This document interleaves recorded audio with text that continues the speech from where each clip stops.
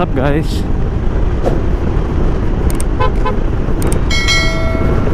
So Samahan niyo ako guys. Papasok tayo. Titingnan natin kung makakapasok na tayo sa Agkilo.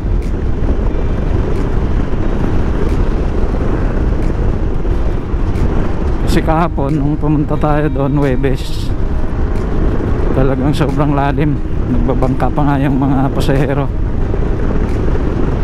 Pero yung baha nag-subside na eh.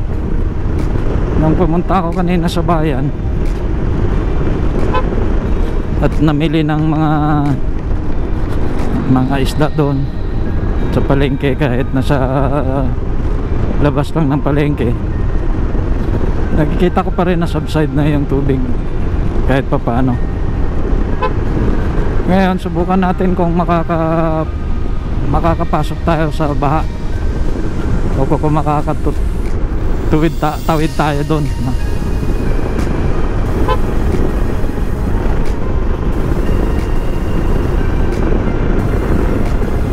ay napalimutan ko pala magpagas. Dali doon na lang sa may mianay kung makakapasok. Kaya mamaya pagbalik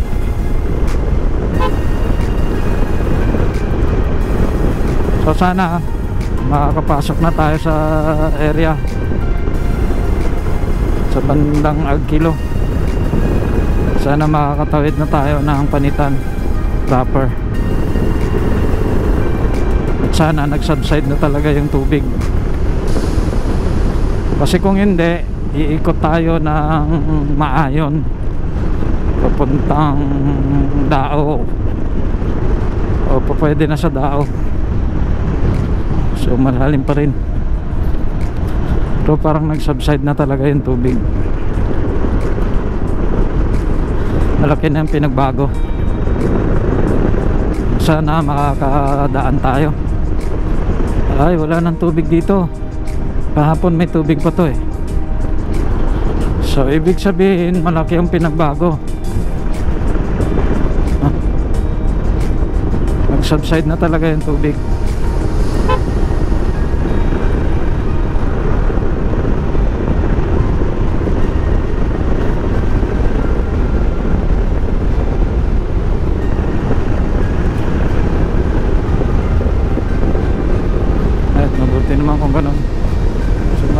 motor na nakasalubong yung kaya yung galing sa panitan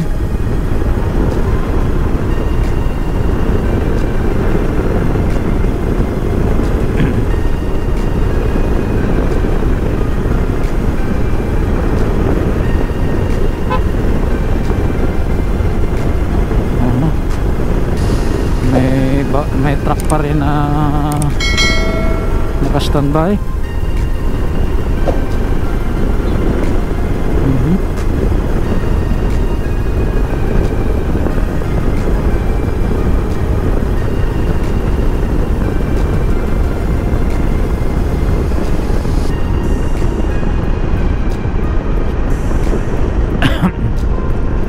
Pero malaki ng dinawas ng tubig. Sana wala ng tubig sa kalsada.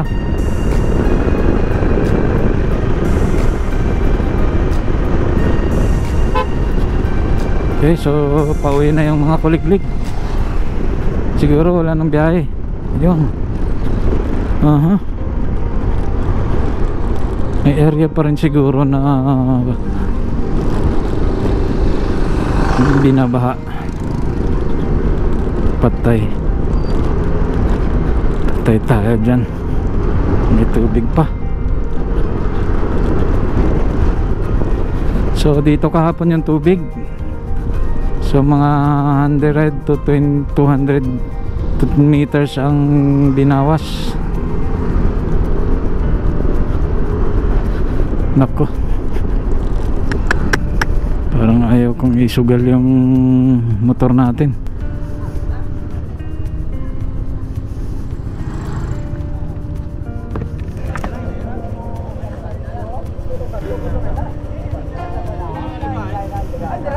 Pa rin. Malalim pa rin to.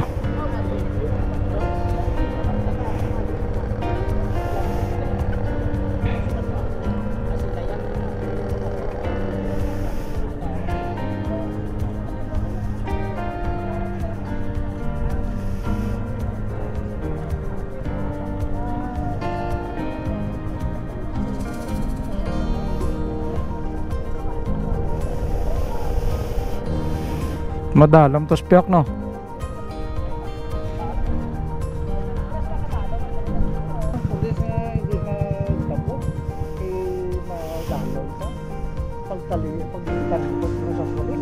Piniraya. Bisan truck gani baruso. Gani oh dito kakadto ko to kapon. Hmm, ato pa to. Ay param dumabala ka lawig. Kag manubo pa ni ding area. oh.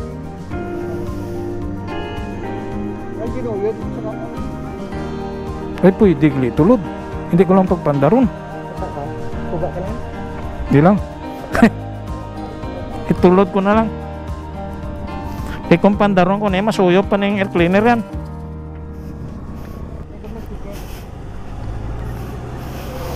Itulod ko na lang gali.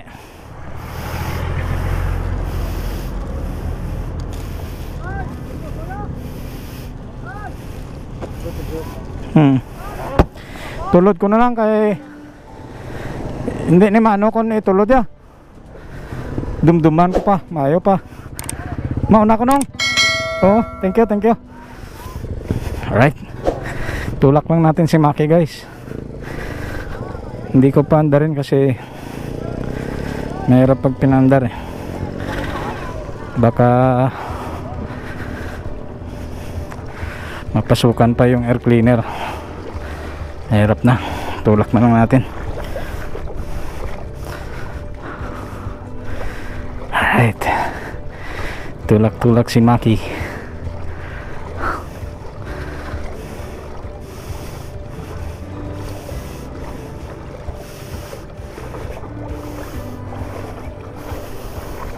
Tulak, tulak. Kesa ikot pa tayo. Nawakit pa ako ng maayon papuntang papuntang Dao, yung pinakamaiksing route ruta Dao.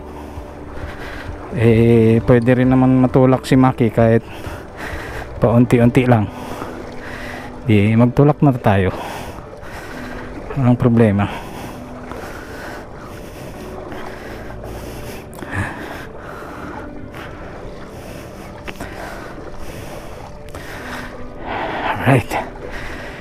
one down.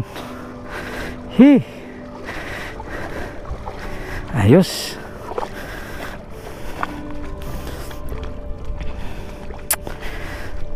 Ayos. Uh, minus stranded sa gitna. Patay.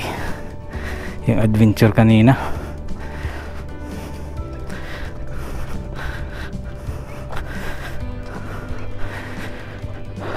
Stranded siguro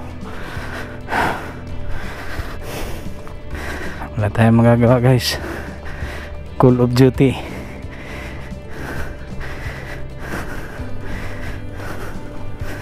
Kailangan pasukin yung baha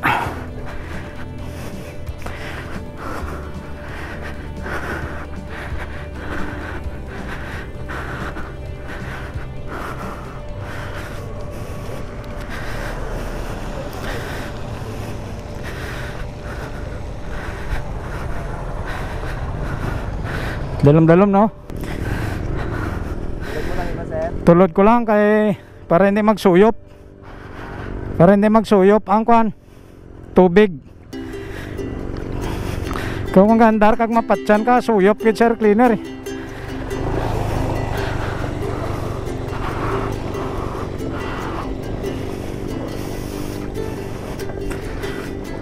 bah. Lakas yun ah lakas ang tubig doon Tay.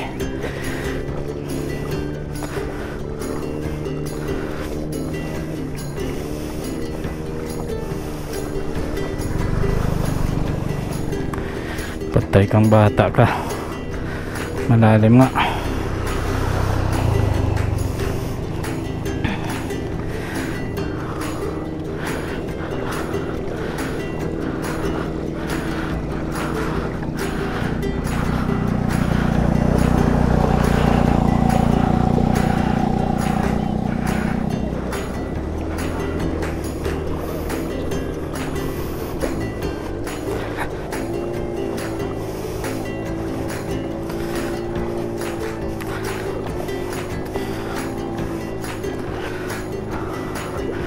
Amo na yung mampak siyang grabe oh. Ang mapadalom sa isang tubig, ang ampak sa tubig siyang salakyan oh.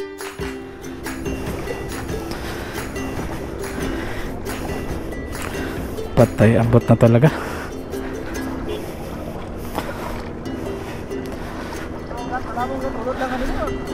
Snako, manabi oh. Kataas siya pro. Ah, ay gid.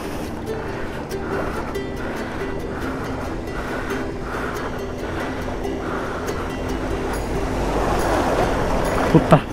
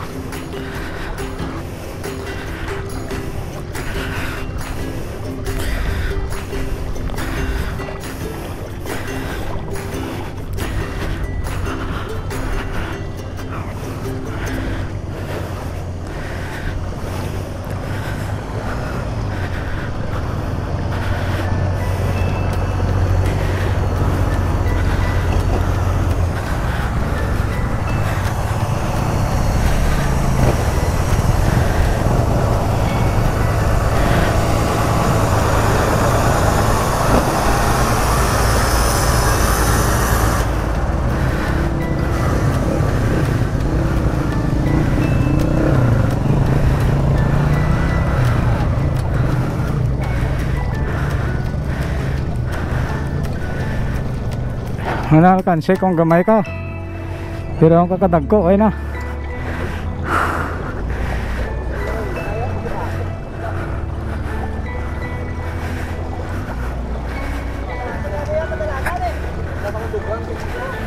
Hindi man nakilan, lan padasig-dasig ah.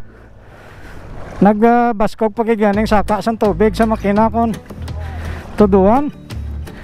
Importante gaan, gaandar idol bisan idol lang na hindi na yan mapatay ah. Isang kasalo pa uh, kuhan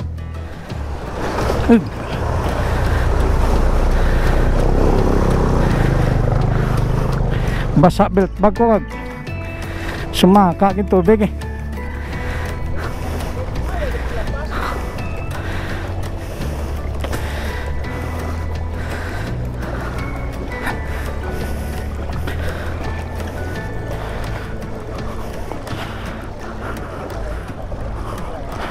So mga subong na yun, ang ah, ranger sa likod oh. Simple lang.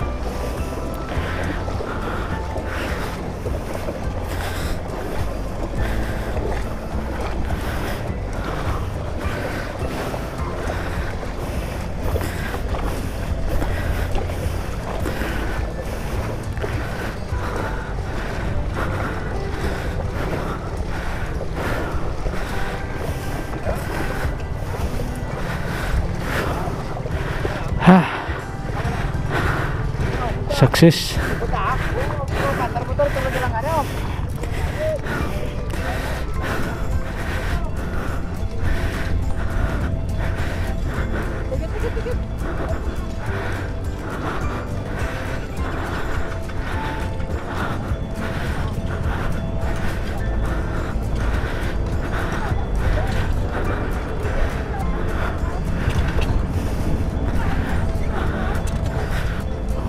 Way gandar. Hindi na magsulot basta way gandar. Basta way gandar na magsulot tubig.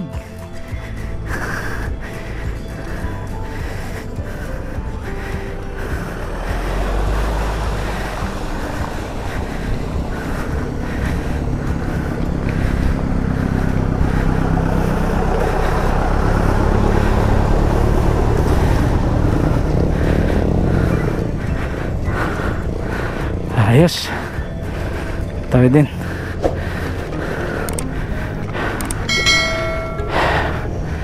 Pagod din maghila. Kay Maki.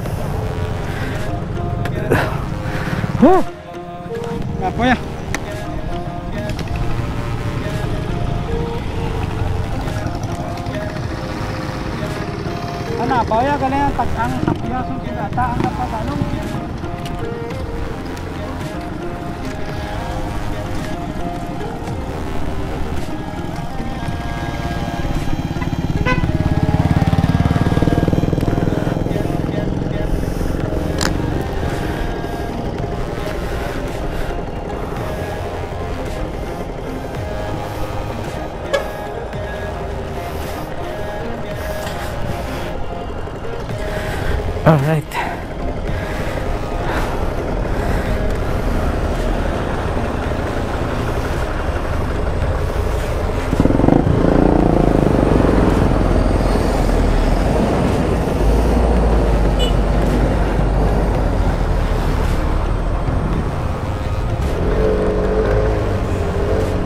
Patay. May tubig siguro. Pasukan ng tubig.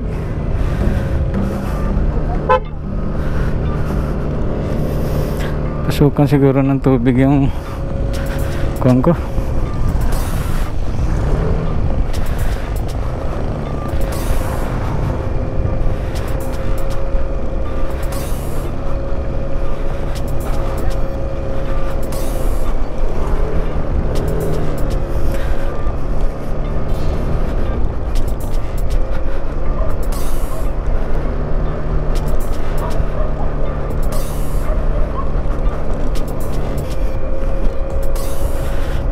Nag-slide yung motor ko. Slide oh.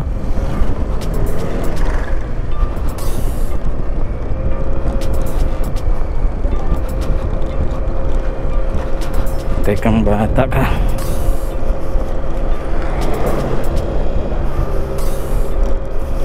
Pasukan siguro ng tubig to.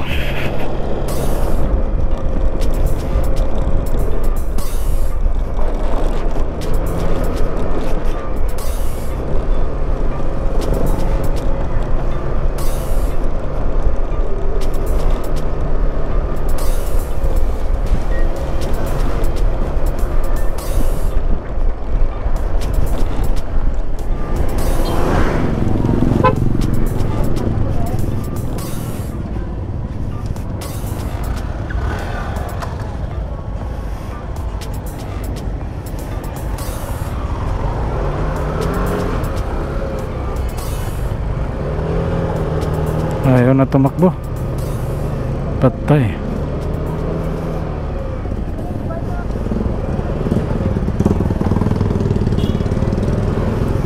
Nag-slide. Basa siguro yung kan.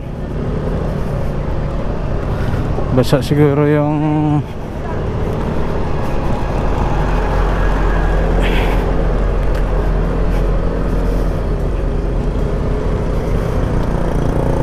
Patay kang bata ka. Basa nga siguro yung belt ko.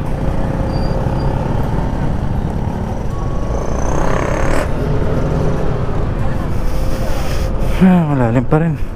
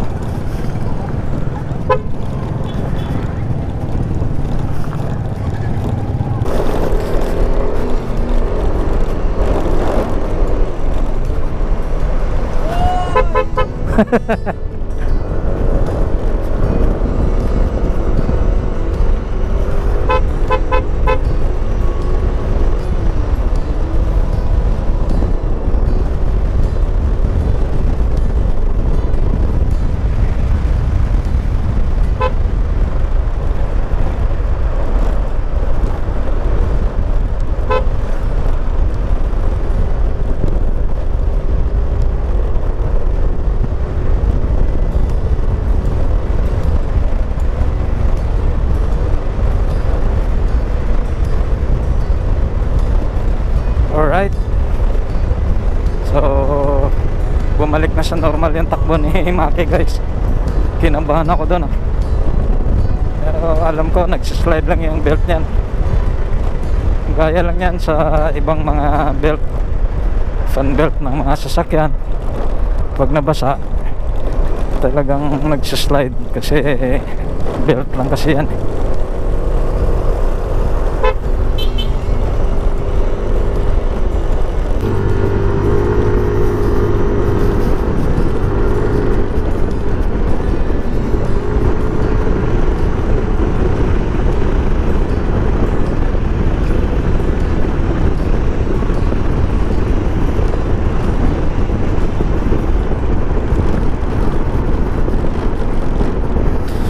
Right, so wala nang katubig-tubig yung mga ah, palayan dito guys. So ibig sabihin nag-subside talaga yung tubig dito. So wala nang kabaha-baha.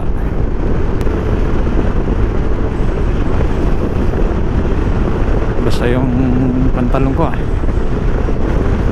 Tulo ko kasi yung kasalubong namin, ang taas niya eh. Bilis ng takbo. Nervyoso sa baha.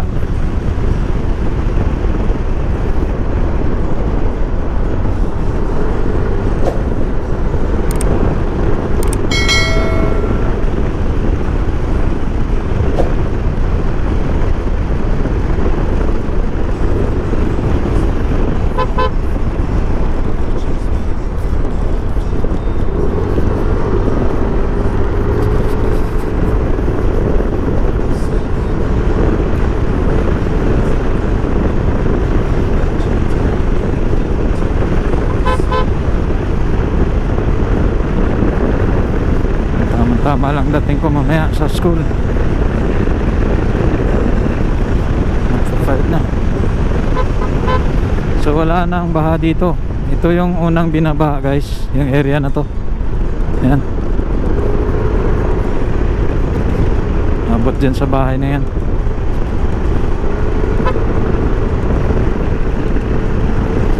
So, subsided na talaga yung tubig wala na talagang katubig-tubig yung palayan naubos lahat.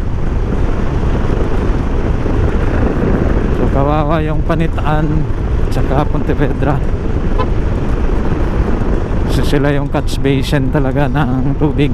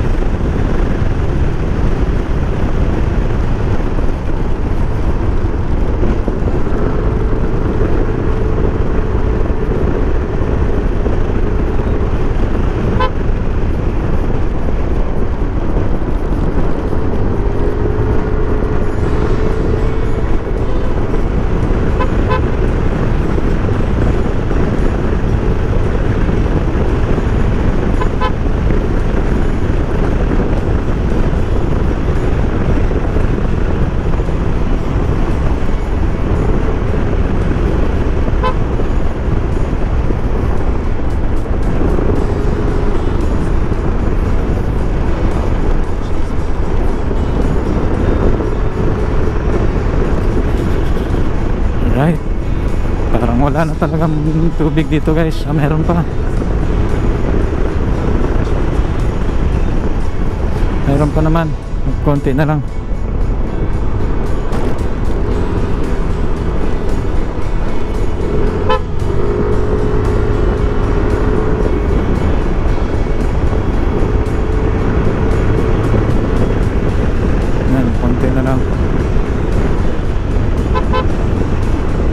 Dito, binabaha rin ito dito. Yan, ito dito, binabaha rin to. So wala na ring tubig. Subside na. Yan.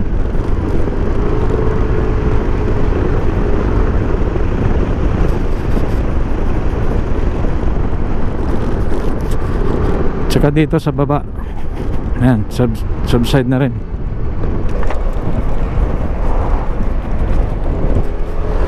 Noong Martes ng umaga,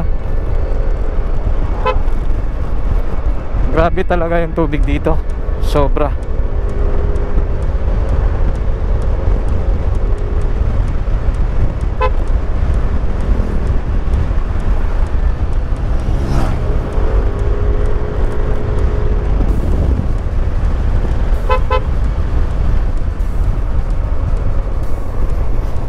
So subside na yung tubig. Kasi nung Martes, yung tubig mula dito. Mula dito hanggang mga dalawang kilometro ang baha sa sobrang layo, sobrang haba.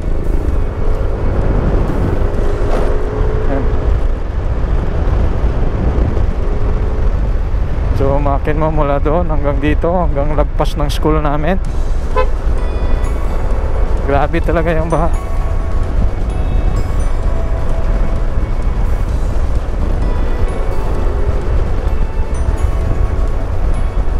Hanggang doon pa sa dulo. Yan. So dito ko na lang puputulin yung vlog ko guys. Sa mga hindi pa nakasubscribe, paki-subscribe na po. Pakipindot po yung subscribe button natin dyan at saka yung notification bell na rin para ma-update kayo sa mga susunod ko pa ng mga vlog. So sa ulitin guys, thank you for watching. See you sa susunod na vlog. Ride safe always. Bye guys. Peace.